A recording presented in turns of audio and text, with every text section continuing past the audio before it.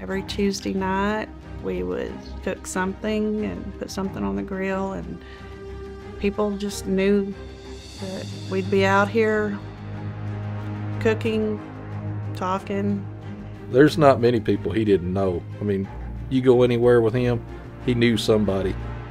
I mean, he, that's just the type of person he was. If he didn't know you, he was going to meet you. Tuesday nights we would always go over. We would have a fire, hang out. All you know, the co-op guys.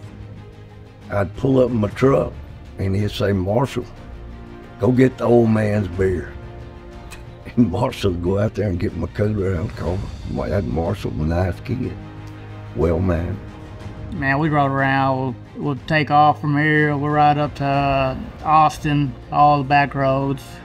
Go up to ROT Rally. That used to be our thing. We used to always go to ROT Rally because that's where the party was.